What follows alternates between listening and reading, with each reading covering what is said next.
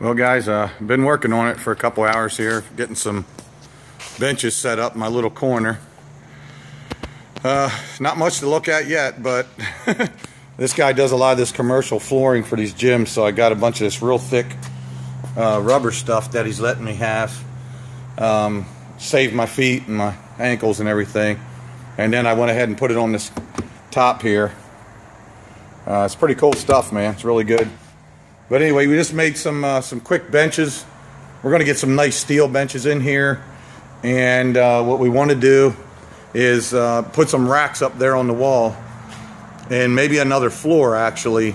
But get that real good steel stuff like they have in, uh, like Lowe's keeps all their material. See how high the ceiling is? So, I mean, I got a whole nother floor here I'm not using. And we'll store bikes and motors and parts up there. I'm going to do bikes, cars, trucks, whatever. Um, like I say, we still got, he's got some stuff in here that he's getting out. Um, I'm not pressuring him or anything to get that stuff out because I wasn't supposed to be in here until uh, January the 1st. Uh, again, this all this weight stuff is for sale. He just took out the exercise bikes. Um, he's trying to get rid of all that stuff on Craigslist, I think. Um, and then this rubber flooring right here is for a job he's got coming up. Um, but anyway, and like I was saying in my other video, I've got use of the forklift. That comes with it. Uh, anything you see over there, uh, including the giant screen TV, any of those tools, uh, any of the tools up there. Some of this is uh, my stuff, some's his stuff in here.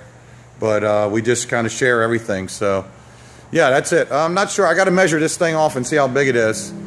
Um, not 100% sure the size of this place. I think he told me it was 2,000 square foot. And again, these are his trucks and trailers out there. And I have use of those.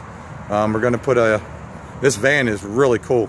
I can't wait for you guys to check that out. We got to put a transmission in it because he keeps tuning his diesels up. He's got too much power and he's blowing the transmissions out. But uh, yeah, that's a, that, um, uh, that's a Duramax over there. That van's a Duramax with the with the uh, Allison automatic. Same thing with these trucks. All these trucks he's got are, are pretty souped up. They're tuned up pretty good. So anyway, that's his other trailer. And uh, yeah, there's Bessie, the 1978 Toyota Hilux pickup that's going to get straightened out. And again, like I say, uh, that's really a nice shop down there. It's uh, that trailer there. They got a race team or something. I'm not sure yet. Haven't met them. I'll go down there and talk to them. But uh, it's really cool place. And uh, that's that's US 1 right there. Uh, that highway right there in the front. Man, that sun is bright here, finally. But yeah, that's US 1 right there. We see the traffic going by. And then uh, right up the street, the way I'm pointing now, is 95. That's a little over a mile away. And then uh, if you head back down south that way, that is um, like Iron Horse Saloon, Boot Hill, Broken Spoke, all that stuff. So um, right up the street is Corbin and JP Cycles and all that stuff. So yeah, I'm right in the Mecca here. So it's awesome. But yeah, that's all it is. It's just a little shop to work out of.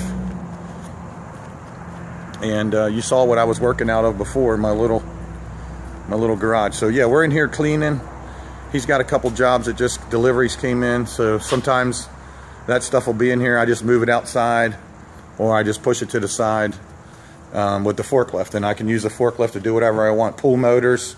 Um, you know, like I was telling you, we're going to build racks back there against that wall. And what we'll do is we'll have jigs made up that you roll a bike on. Kind of like, you know, pretty much like a skid here, like a pallet.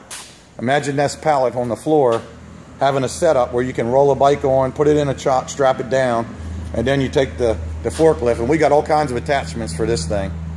And then you grab the skid with the bike strap to it, and then you would just lift it up there and store it. Um, and there's a lot of reasons for that. I'm in Daytona Beach, so um, you know people want to store bikes, haul bikes.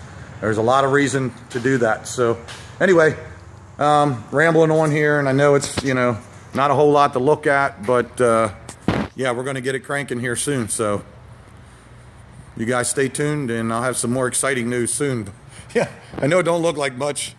Just been in here busting my ass uh, last couple days. Came over yesterday, cleaned up, and everything. But soon I'll have all this area will be free uh, for me to do whatever I want. But for right now, you see I got just selective tools here that I grabbed from my garage.